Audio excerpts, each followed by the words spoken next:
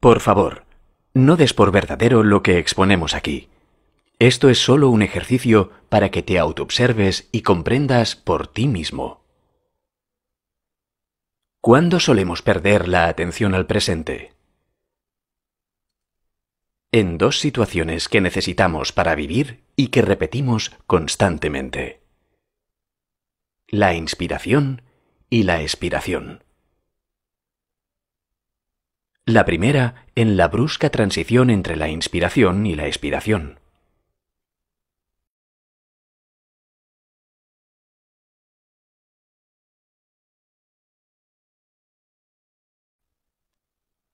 La segunda en la brusca transición entre la expiración y la inspiración.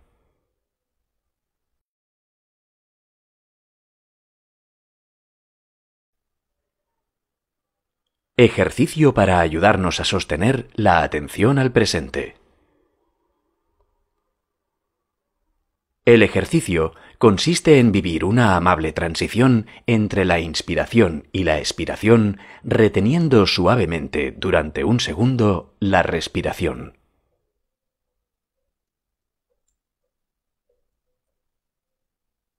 Y a continuación, en vivir una amable transición entre la expiración y la inspiración, reteniendo suavemente durante un segundo la respiración.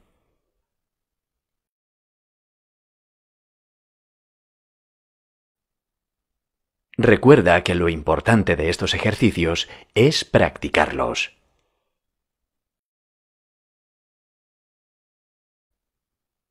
Y si quieres aprender más sobre cómo mantenerte atento a lo que vives, visita nuestra web de la atención al presente.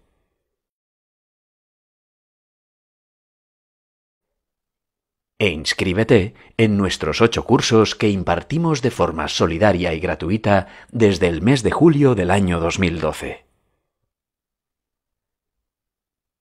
Aquí y ahora. Practica la atención a la sensación presente mientras haces cualquier cosa. Practícala aquí y ahora.